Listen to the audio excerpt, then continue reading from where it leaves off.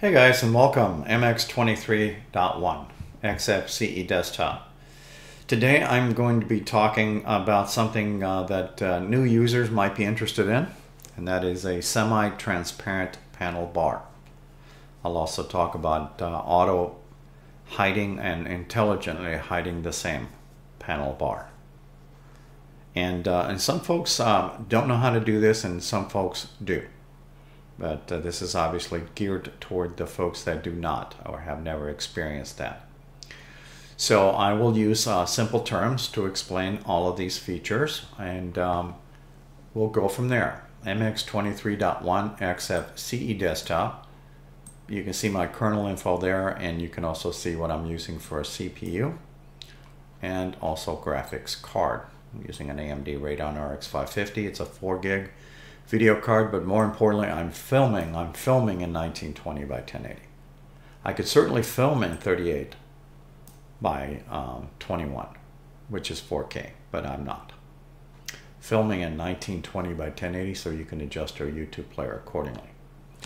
I'm going to use Alt and F4 to close the uh, quick info box.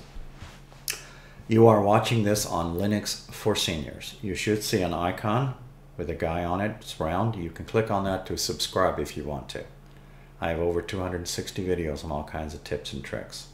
I even showed how to make one of these in about a couple seconds. This just, uh, when you double click it, powers down the system and no questions asked. Now you can probably see my panel bar since I'm using a photo for my wallpaper or background and you can see through it. And as soon as I take my mouse pointer or cursor, it turns black. All right, I'm going to talk about those features. And then I'll talk about the difference between uh, intelligently hide, auto hide, or never. Okay, so right click, panel, preferences. I talked a lot about these features in the past. We can certainly do the increase height and rows and all that good stuff in here. But today I'm talking about appearance. And a lot of people will struggle with the combination of these two. So if you like what you see on the screen right now with this combination of see-through, then use this pattern. It's um, 64 on the leave and 100% on the enter. Okay. All right.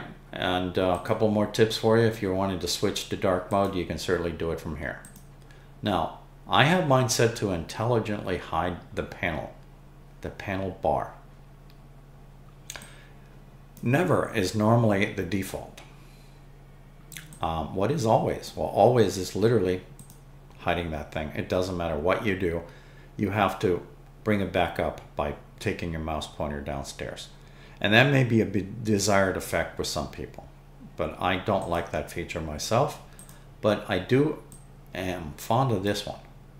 What is the difference between that one and never? All right, this one here, if I open up a web browser, for instance, and I go full screen, I'll just let it go into the MX's page, you can see that my web browser is top to bottom. As I scroll my mouse pointer downstairs, it reappears and goes away.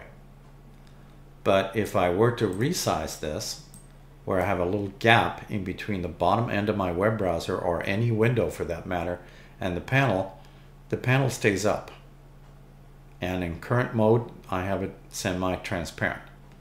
As I move the actual browser window or any window close to that line and a little bit below it, it will automatically disappear. And as I pull it back up, it reappears. If I go full screen, again it disappears. You get the idea? Okay. So these are just very simple tips, but I thought I'd throw that out there because occasionally I do have questions when it comes down to panel bars.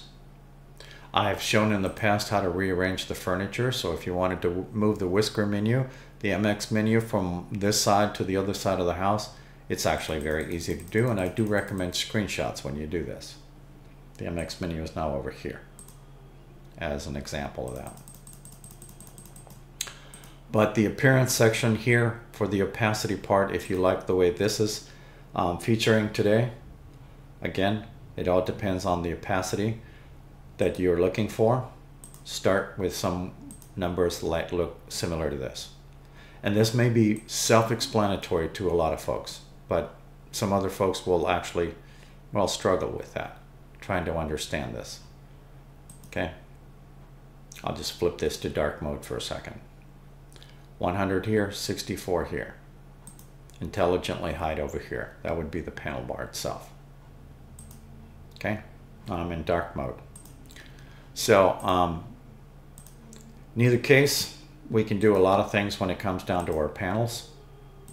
And, uh, you know, whatever color that you want. And the menus will emulate that also at the same time. Thank you for watching.